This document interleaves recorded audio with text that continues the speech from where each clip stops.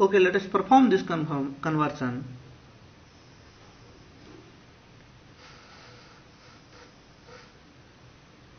And you have to do less than 3 steps, less than or equal to 3 steps, not more than 3 steps. So your conversion should include around 3 steps. So let us take 1 minute time.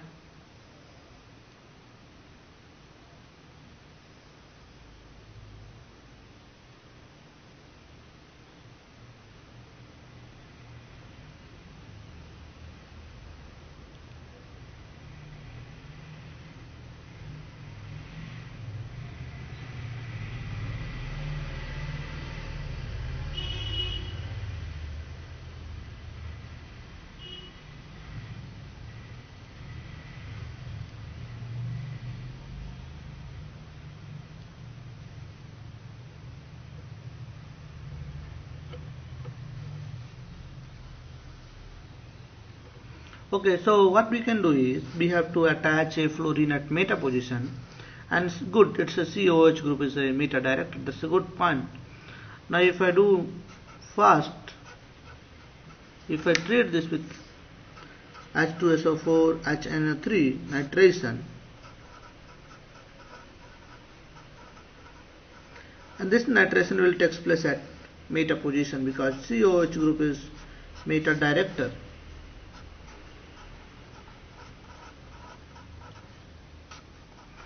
Now next I can convert NO to NH2 that is SNHCl. So reducing agent. So now what we will have NO2 will be converted into N, N, NH2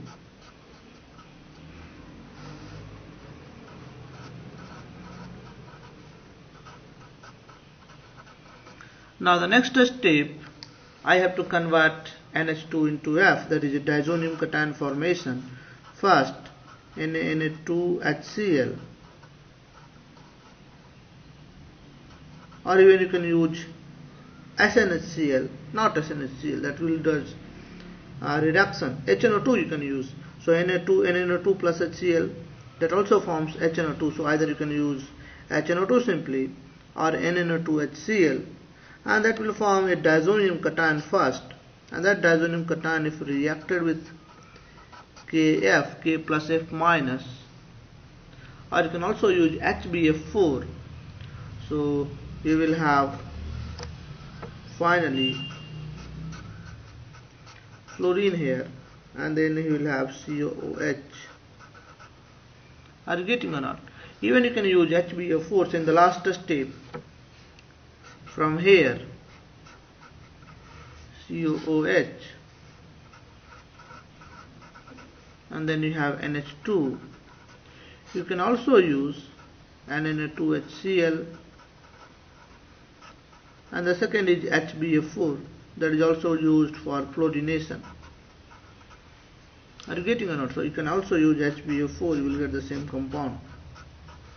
So here you have COOH and here you have fluorine.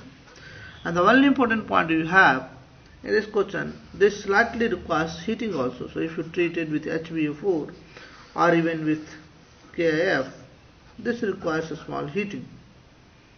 And that is important also. So even if you does not show the heating, you will get the marks because these are the subjective questions. But it is advisable that you have to put a heating sign also that shows you know more, you have more information. So have you copied or not?